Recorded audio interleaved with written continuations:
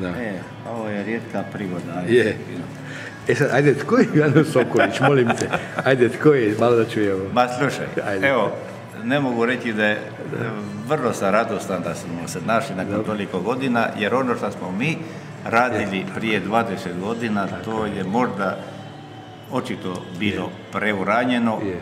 a je šteta da se nije nešto od toga ipak preuzelo i ugradilo u naš život i u našu cjelokupno gospodarstvo. Ja mislim da sada ipak dolazi vrijeme pomalo da će se dio toga i više, ovaj, ako budemo svi skupa se zauzeli, realizirati.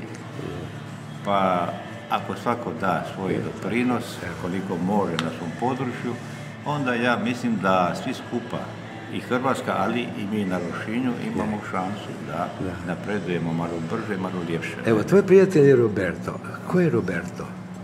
Molim.